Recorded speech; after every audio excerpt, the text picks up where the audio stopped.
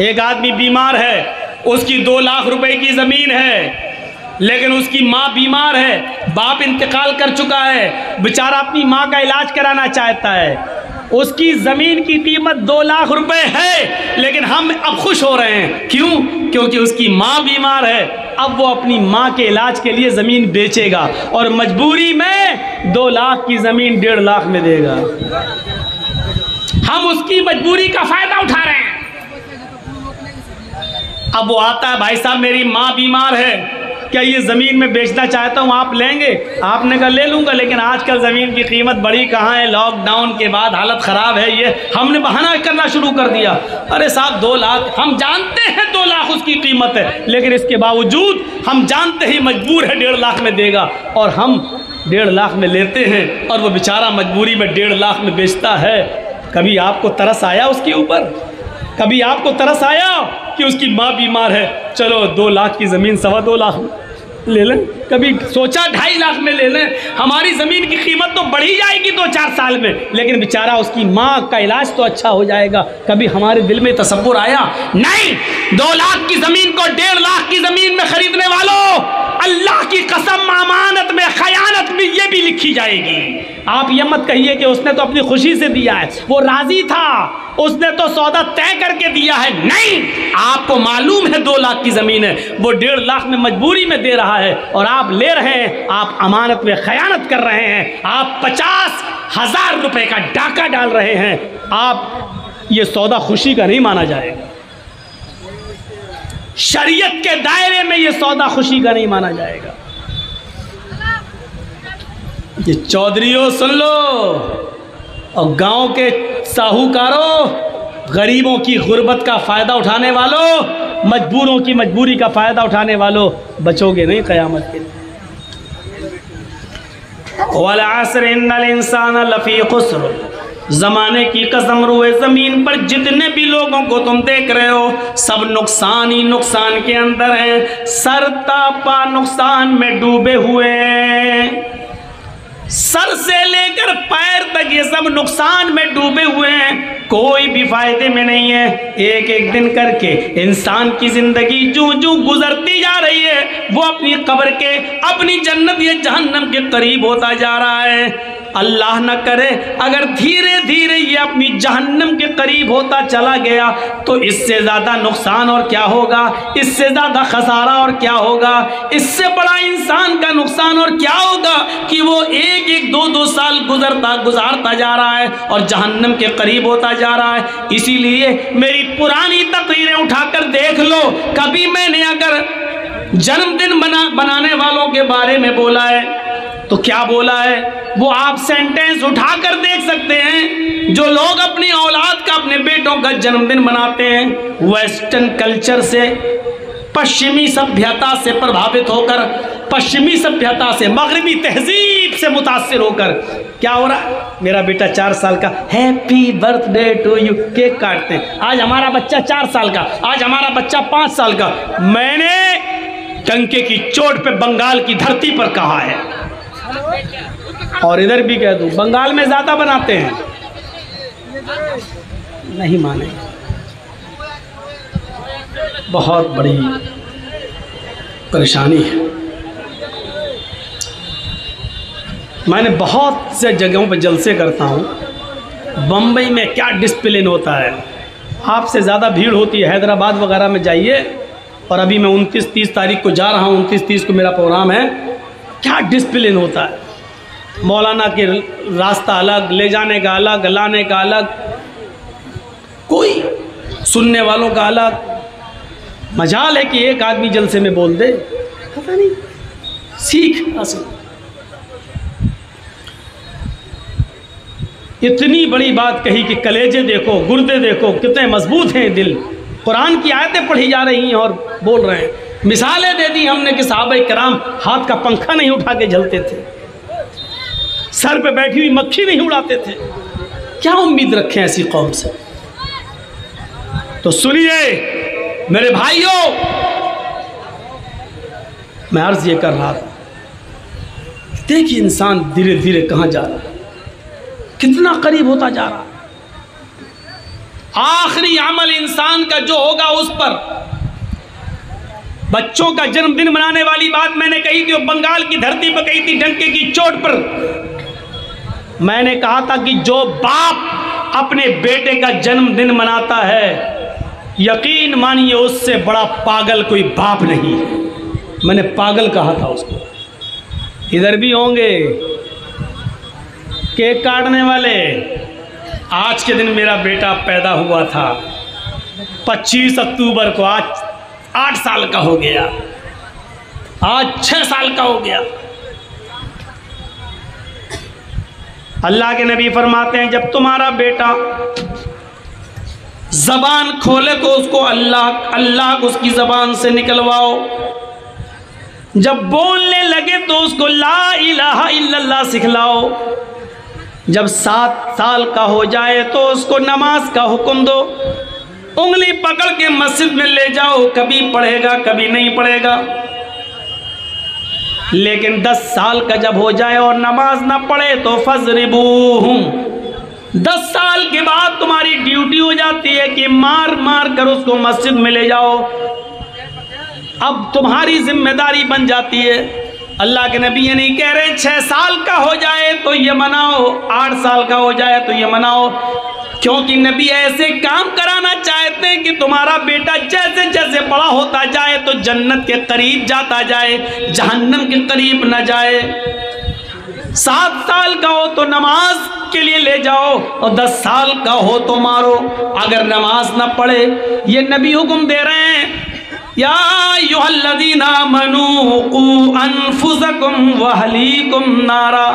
मानो वालो, अपने आप को भी जहन्नम के आग से बचाओ और अपने अहलवायाल को भी जहन्नम के आग से बचाओ।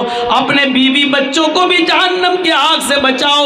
मेरे प्यारे साथियों, जहन्नम की जासोस तपिश की की हालत ये थी कि उसको देखकर अल्लाह के नबी सल्लल्लाहु अलैहि वसल्लम जब इस दुनिया में आए, जहन्नम का मंजर देखकर जब इस दुनिया में आए तो आपने जहाँ बहुत से लोगों को डराया तो आपने उस मौके पर अपनी बेटी को भी डराया।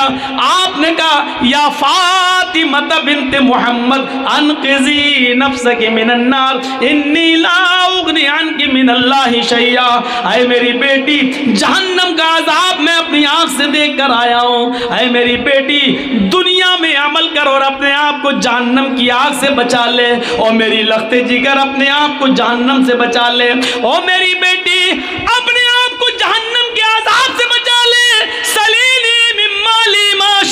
अल्लाह ने मुझे दुनिया में जो माल दिया है, उस माल में से तू जितना मुझसे लेना चाहे ले ले। जितने का मैं मालिक हूँ, अब मैंने तेरी माँ ने जो कुछ छोड़ा है और जो मेरे पास है, मैं दुनिया में तुझे ये सब दे सकता हूँ। इन्नी ला उगनी के मिन अल्लाह शैया और मेरी बेटी, क़यामत के दिन मैं अल्लाह के अजाब से तुझे नहीं बचा सकता। और मेरी लखती जिगर अल्लाह के अजाब से मैं तुझे नहीं बचा सकता। मेरे भाइयों, इस एहसास को अपने अंदर ज़िंदा करो। अल्लाह के रसूल अपनी बेटी से ये जुमले कह रहे हैं। हम और आप कैसे बेखबर हैं? हम यहाँ बैठे हैं। हमारी औलाद सड़कों पर क्या कर रही है? ये कौन सोचेगा? आप रात के 12 बजे अपने बिस्तर पर सोते हैं। आपका बेटा 12 बजे तक आपके घर नहीं आया है। ये कौन सोचेगा? आप 2000 का मोबाइल चला रहे हैं। आपका बेटा 18000 का एंड्रॉयड मोबाइल चलाकर पूरा दो जीबी जियो एयरटेल में मिलने वाला पूरा डाटा खत्म करता है। ये डाटा किस चीज़ में जाता है? इसका जिम्मेदार कौन है? ये कौन हिसाब लेगा अपनी औलाद से? कौन पूछेगा? किसकी ज़िम्मेदारी बनती है ये? कैसे दिया है आपने वो मोबाइल अपने बेटे को? साहब, आजकल पढ़ाई ऑनलाइन चल रही है। तुम घर पे नहीं रहते हो? ऑनलाइन पढ़ने के बाद फिर मोबाइल क्यों नहीं लेते हो अपने बेटे से? अरे मौलाना साहब, मेरा बेटा पंद्रह सोलह साल का हो गया, आप नहीं छीन सकता। क्यों? अब वो तुम्हारा बाप बन गया क्या? हाँ यही समझ लो। समझ लो नहीं, आज तुम कह नहीं सकते हो अपने बेटे से। उसको मालूम है कि रात के 12 बजे से पहले पहले ये डाटा भी मिलेगा, फिर दूसरे दिन का डाटा शुरू होगा, अभी ख़त्म कर लो। आप कह नहीं सकते कि बेटे क्यों नहीं सोए हो क्यों नहीं सोए हो? आप पूछ नहीं सकते हो अपनी औलाद से। और ये मोबाइल जब बेटियों के हाथ में हो तो और नहीं पूछ सकते हो। क्योंकि आपसे ज़्यादा आपकी बेटियाँ होशियार हो चुकी हैं कि मोबाइल कब चलाया जाए, किस वक्त चलाया जाए और उसके लिए कौन सा वक्त ज़्यादा मुनासिब है? क्योंकि आप जिस वक्त निगरानी करते हैं, उसको आपकी निगरानी का टाइम मालूम है। और दुआ मांगती है, अल्लाह सर्दियाँ जल्दी आएँ। क्योंकि सर्दियों में ब्लैंकेट के अंदर और रजाई के अंदर चलाने में उनको जो आसानी होती है, वो बाहर गर्मियों के दिनों में नहीं होती है। दुआ मांगती है कि जल्दी सर्दी आए। कितने लोग पकड़े गए हैं? हालात पे नज़र डालिए। कितनी लड़कियों की एप्लीकेशनें हाई कोर्ट और सुप्रीम कोर्ट में पड़ी हुई हैं। गिनती गिन नहीं पाओगे। जिन्होंने ये कहा है कि मैं अपनी मर्ज़ी से फला फला धर्म के लड़के से शादी कर रही हूँ। मेरे माँ बाप मुझे रोकेंगे, लेकिन मेरी उम्र 18 साल से ज़्यादा है, मैं अपनी मर्ज़ी से कर रही हूँ। और ये अभी दो महीने पहले का रिकॉर्ड बता रहा हूँ मैं तीन चार साल पुराना नहीं। ये फिर से उठा है कितना ये किसकी देन है? कभी सोचा है कि हमारी लड़कियाँ जब कल मरेंगी तो वो कब्र में दफनाई नहीं जाएँगी, वो जलाई जाएँगी। कभी आपने पढ़ा है कि आपकी बेटियों का जब निकाह होगा तो या युहल्लदीन आमनुत्तकुल्लाह का दुकाती और या युहन्नासुत्तकु रब्बकुमुल्लज़ी खलक़कुम मिन नफ्सिन वाहिदा, नहीं पढ़ा जाएगा, बल्कि वहाँ सात फेरे लगाए जाएँगे। कभी आपने सोचा है कि आपकी बेटी जब अपनी ससुराल में घुसेगी तो उसके हाथ में कुरान और उसकी जबान पे कुरान की आयतें नहीं होंगी, बल्कि उसके सर पर चुटकी भर सिंदूर होगा। कभी आपने सोचा है कि आपकी बेटी अल्लाह अकबर कहकर अल्हम्दुलिल्लाह रब्बिल आलमीन नहीं पड़ेगी बल्कि किसी मूर्ति के सामने वो खड़ी होकर घंटी बजाकर उसके सामने अगरबत्तियाँ जला रही होगी और गायत्री मंत्र पढ़ रही होगी। ओम भू भूर्भुव स्वाहा। कभी आपने तस्वुर किया है? और वो लड़का जो हमारी बेटी से शादी कर रहा है दो तीन बच्चे पैदा करने के बाद हमारी बेटी को बेयारो मददगार छोड़ देगा और गवर्नमेंट उसका साथ देगी, क्योंकि यही करने के लिए तो यही सब करवाया गया था। आपको मालूम है कितनी यूनिवर्सिटीज ने यह कह दिया है कि अल्पसंख्यक लड़कियों के लिए, अल्पसंख्यक, मुसलमान का नाम नहीं है, अल्पसंख्यक में मुसलमान भी आते हैं, सिख भी आते हैं, ईसाई भी आते हैं, लेकिन इशारा मुसलमानों की तरफ़ है, अल्पसंख्यक समुदाय की 60 परसेंट लड़कियों को एडमिशन दिया जाएगा, क्योंकि अल्पसंख्यक समाज में लड़कियाँ शिक्षा से और तालीम से दूर है। कभी आपने अपनी दिमाग की बत्तियाँ जलाई हैं? हमारे लड़कों को यूनिवर्सिटी में नौकरी, हमारे लड़कों को एडमिशन नहीं मिल रहा है। लड़कियों को साठ परसेंट आप दे रहे हो। क्यों? इसकी वजह प्लानिंग नहीं, ये मशवरे नागपुर की सरजमीन पर होते हैं। नागपुर की सरजमीन पर अब इससे ज़्यादा खुलकर हम कुछ नहीं कहेंगे। हमारी साठ परसेंट लड़कियों को तुम एडमिशन ले रहे हो, क्यों? का साहब मुसलमानों में लड़कियाँ तालीम से दूर है उनके लिए। ये तालीम का नाम लिया ज़रूर जा रहा है, लेकिन हुक्म ये है, इशारा ये है कि हमारे समाज के लड़कों, इन लड़कियों को अपने प्यार के जाल में फंसाइए।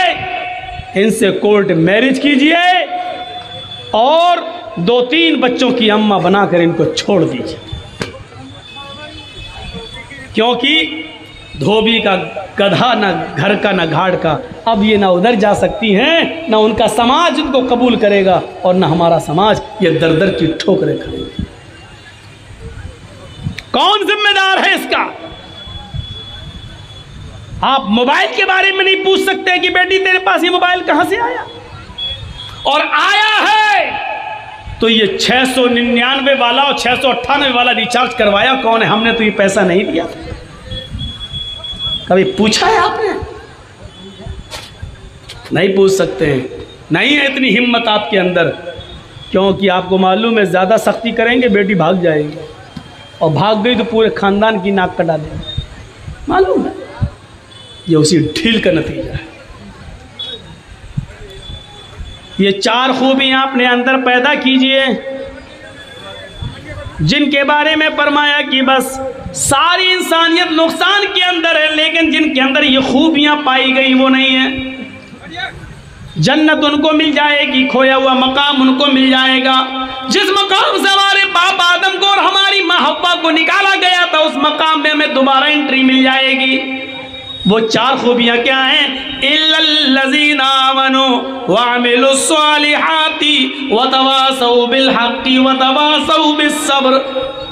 ईमान अपने अंदर पैदा कीजिए, जो लोग ईमान लाए वामिलुस्सालिहात और जिन्होंने अमले स्वाले किए। देखिए, ये दो चीज़ें एक साथ पेश की। इल्लल्लज़ीना आमनु वामिलुस्सालिहात ईमान भी ज़रूरी और अमले स्वाले भी ज़रूरी। व तवासो बिलहक़ी व तवासो बिसब्र ये दोनों को एक साथ बयान किया। हक बात कहो और सब्र करो। क्यों? हक बात कहो और सब्र करो। ये दोनों का ताल्लुक क्या है? हक बात कहोगे तो परेशानी आएगी। हक बात कहोगे तो परेशानी आएगी और परेशानी आएगी तो बर्दाश्त करो सब्र करो। ये दो चीज़ों को एक साथ पेश किया। आज बहुत जल्दी लोग हक बात के लिए तैयार नहीं होते बोल ही नहीं सकते। हक बात बोलेंगे तो सीबीआई, आईबी, एटीएस हमारे उत्तर प्रदेश का हाल तो बहुत ही बुरा चल रहा है। थोड़ा सा आपने कुछ भी कह दिया, कुछ भी तो पहले तो आप अंदर जाओ। अब ये कहते रहो कि हमने नहीं किया। आपको ना कहने के लिए, ये साबित करने के लिए मैंने ये कहा नहीं। चार, पाँच, दस साल आपको इसमें गुजारना पड़ा। इसी में चले जाएँगे। आपको शायद मालूम होगा एक ऐसे ही कोई डाल दिया था किसी ने यूट्यूब वगैरह पर, लेकिन उसमें एक तरफ़ देखा जाए तो सच्चाई है कि एक हाथी भाग रहा था जंगल में। तो भैंस ने उससे पूछा कि तुम कहाँ भाग रहे हो? कहाँ भाग रहे हो? तो हाथी ने कहा है कि मैं इसलिए भाग रहा हूँ जंगल में कि अभी अभी ऐलान हुआ है कि जो भी भैंस जंगल में दिखाई दे उसको पकड़ो और उसको ठूस दो जेल के अंदर। तो भैंस ने कहा कि जब ऐलान तो भैंस का हुआ है कि जो भी भैंस मिल जाए उसको पकड़ के ठूसो मारो। तो तुम तो हाथी हो, तुम क्यों भाग रहे हो? हाथी ने कहा है कि 20 साल तो मुझे ये साबित करने में लग जाएगा कि मैं भैंस नहीं हूँ। तो भैंस ने कहा धप तेरी की, फिर वो भी भागी। तो ये सूरत हाल है इस वक्त हमारे मुल्क की। यह सूरत हाल है इस वक्त। हर आदमी का कलेजा नहीं है। पैंतीस और छत्तीस मरतबा जेल में चला जाए। हर आदमी का, हर मौलवी का कलेजा नहीं है जो हक बात डंके की चोट पर कह दे। नहीं। इसलिए हक और सब्र को एक साथ बयान किया व तवासो बिल हकी व तवासो बिल सब्र हक बात कहोगे तो परेशानी आएँगी तो चार काम अपने अंदर पैदा कर लो। ईमान, नंबर दो, अमले सवाले, हक बात कहना हर हाल में, और हक बात कहने में जो परेशानी आए उस पर सब्र करना। ये चार चीज़ें पहली चीज़, ईमान। ईमान कैसा? ईमान और अमले सवाले दोनों ज़रूरी। आपके पास ईमान है, अमले सवाले नहीं, बेकार है। ईमान है, लेकिन अमले सवाले नहीं, बेकार। अमले सवाले है, लेकिन ईमान नहीं तो भी बेकार है। आपने कभी देखा है? गैर मुस्लिम लोग भी गरीबों की कितनी मदद करते हैं? ज़रा बम्बई चले जाओ, टाटा हॉस्पिटल के सामने खड़े हो जाओ, लाइन लगी हुई है गरीबों की मदद करने वालों की। कैंसर पेशेंट वालों को मदद करने के लिए कितने लोग आते हैं, कितनी संस्थाएँ आती लो साहब, कितना का खर्चा? चार लाख लो तीन लाख हम दे रहे हैं। लो, दो लाख हम दे रहे हैं। हमारी तरफ़ से कोई फल लेके चला आ रहा, कोई खाना लेके चला आ रहा, कोई कुछ करते हुए। कितना अच्छा काम है। अगर बाहिर देखा जाए, लेकिन सवाब क्या मिलेगा? कुछ नहीं। क्यों? क्योंकि अमले सवाले तो है, लेकिन ईमान नहीं। हमारे पास ईमान है, लेकिन अमले सवाले नहीं। है आमले सवाले नहीं?